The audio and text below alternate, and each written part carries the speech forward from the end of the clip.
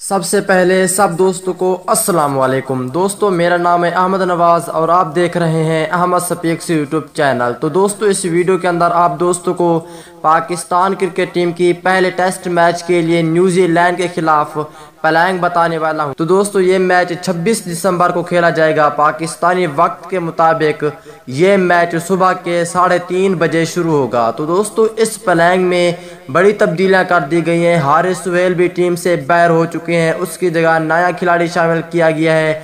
शादाब खान को भी इंजरी हो चुकी है। आइए तमाम तर डिटेल के बाद आप दोस्तों को प्लांग बताते हैं। तो दोस्तों, इससे पहले इस वीडियो को जल्दी से लाइक करें। चैनल को लाजमी सब्सक्राइब करें, बेल आइकन दबाकर ऑल पर लाजमी क्लिक कर देना है। तो दोस्तों, बढ़ते हैं वीडियो की जानब और आप दोस्तों ने नीचे कमेंट सेक्शन में एक प्यारा सा कमेंट्स भी लाजमी करना है।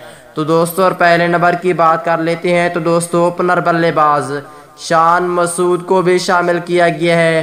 अगर दूसरे नंबर की बात कर लेते हैं तो दोस्तों, दूसरे नंबर पे ओपनर बल्लेबाज। आबिद अली जो कि ये दोनों बहुत ही अच्छे ओपनर हैं। अगर तीसरे नंबर की बात कर लेते हैं तो दोस्तों तीसरे नंबर पे पाकिस्तान टीम के सबक कप्तान अजहर अली को शामिल किया गया है।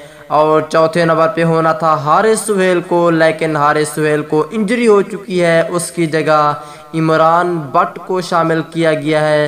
अगर पाँचवें नंबर की बात कर लेते हैं तो दोस्तों पाँचवें नंबर पे विकेट कीपर मोहम्मद रिजवान और कप्तानी भी यही करेंगे पहले टेस्ट मैच में।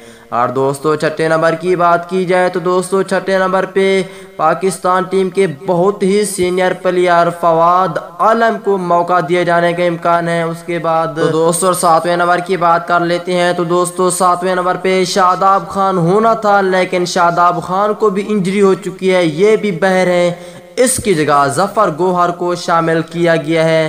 अगर आठवें नंबर की बात कर लेते हैं तो दोस्तों, आठवें नंबर पे होंगे यासिर शाह।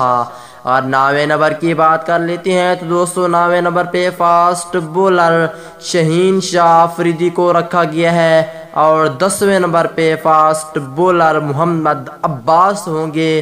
अगर ग्यारहवें नंबर की बात कर लेते हैं तो दोस्तों, ग्यारहवें नंबर पर होंगे नसीम शाह। तो दोस्तों, ये थी प्लैंग सिर्फ़ दो तब्दीलियाँ हुई थी। हारिस सुहेल की जगह इमरान बट और शादाब खान की जगह जफ़र गोहर। अगली वीडियो तक ले ज़्यादा दीजिए